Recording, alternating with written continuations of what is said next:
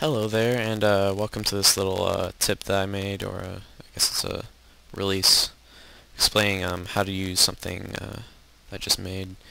Um, I'll dive right in, I guess. Oh, um, alright, so this is a um, program for Unity, uh, well, a uh, well, collection of scripts and like just a setup for Unity that lets you um, just view any um, sort of like model that you've made specifically for game engines. It's not necessarily ideal for higher resolution models, though you could do it if you wanted to. Um, and just make the file size really big. Um, but without um, any further ado, let's just jump into it. So, um, in order to use it, um, you just have to set up really all you have to do is just import your mesh, the materials, and then just drag it into the view. Make sure that it's lined up on um, 0, 0, 0, or whatever your liking is for the um, pivot point, because uh, the pivot point is default at 0, 0, 0. Um, but um, once you do that and you just have it set up, you can uh, go right in. So um, well, let me. So what we have here is um, just basically something that you can use to view your model by um, just follow the instructions I put up over here. And uh, you can switch between them. Just click whatever, you know. And um, to reset view, you can do that. And one thing that I personally like is um, being able to rotate the lights I mean, like, not many, like, viewers can just do that on a fly, on the fly. It gives a nice um, perspective as to how the specular maps are working, normal maps, everything. So, um, you might be asking, like, what the application of this would be if, like, oh, I'm just going to release, like, a blend file, or just give somebody a file. Well, first of all, this can be integrated into the web, so you can just post it up there and anybody can, with the Unity plugin, can just go in and uh, fly around and look around at your mesh um, without having access to the source files. Um, this is also ideal for things like if you're marketing a product or a game asset and you want to have something that can just be there and you can just look at it without having access to the files. Um, so there's a few things you might need to know in order to use this for your own stuff. Um, first, um, all this is linked up with the prefab, so you can actually just package this ViewRig and just plop it down wherever. You can modify all this. Um, if you want to remove any of the UI, um, like uh, text or whatever, you can just jump into the GUI script. And just, you know, remove certain parts of it that you don't want or you can add more, whatever you need.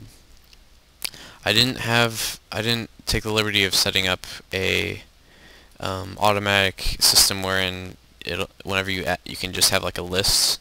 So you're gonna have to, if you want more models, you're gonna have to type in manually model 5 string and then have like a uh, another button. Just copy paste make sure it's moved down. Additional 40 on that um, increment. And then um, rename it to model 5 that part. And then up this one. And make sure that whenever you build the uh, scenes are in order that's essential. Um, and then once you have that, uh, you can just save it out, and you'll have a button there. It doesn't have any text. Let me. All right, model five. So you can just click on this, but you'll see there's no level 4 yet, so you're going to need to create another scene. Um, Save scene as.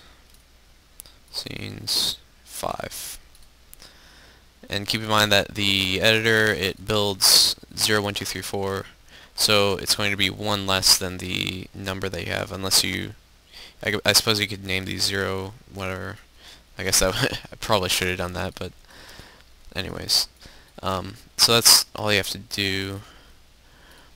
And then you can just click on it and right there. Oh and um, to apply this is linked to a prefab so you can um, once you have this named to like like that you can just hit apply and it'll apply it across all the um, scenes. So you can have it in there and whatever um, UI you want and you can adjust this you can have like a better background or like an icon instead of a button or something. This is just something that takes less time to script. Um, but um, another thing to note is that I'm using deferred lighting I think. Uh, let's not do that. Player yeah.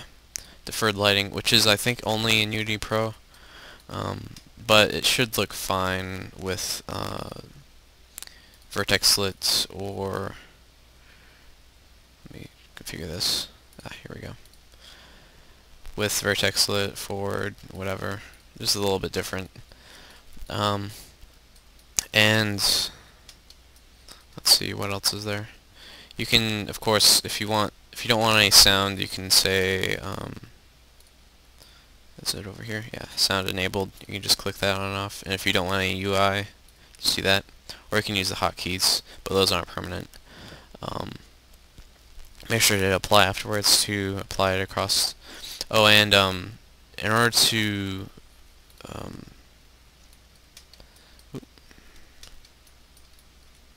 huh.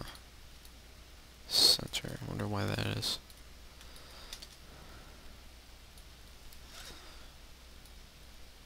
Oh, wrong one. Alright, there. So, um, you're going to want to configure this script also under the ViewRig main. And don't apply this across because this is individual to each model.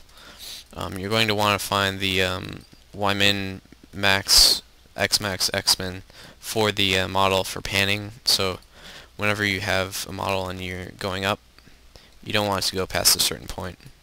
Um, unless you can enable that or disable it if you don't want a limit. And that way people can just you know go off into the distance and yeah. But um let's see. You can also configure pan speed. Have it whatever speed you want it to be. Really fast. Um, And, uh, I don't know, that's it. Some These models are included with the uh, release just for, I don't know, demonstration purposes. They aren't really usable because they're heavily decimated sculpted meshes, so they aren't animatable or they don't have any bones in them. Sorry. but uh, these were just some quick sculpts that I had lying around, and um, you know, it's uh, a little bit, um, you know, easier to just decimate down than have to build an entire low poly animatable mesh on top. What is that doing? Um, and uh, I think that's it. Um, oh yeah, I want to demonstrate. I don't want mod box open. Why do you do that? Shut up. Alright, um... Here's a little demonstration of the uh, web player. I'll probably upload this to like my website or something just so that you guys can play around with it online. Um, that's just what it looks like on the web. Pretty much the same. And if you want to do standalone for Mac or Windows, you can do that too. Um, so, hope you enjoy this little uh, viewer thing. I mean, it's handy. I mean, it took me about maybe eight hours to construct, so it, it cuts down a little bit of time when it comes to um, you guys having to build something just to view a mesh. And uh, so feel free to, you know, modify it, distribute it, whatever you want to do. I think I'll probably license it under Creative Commons. Um, but um, there you go. Thanks for watching.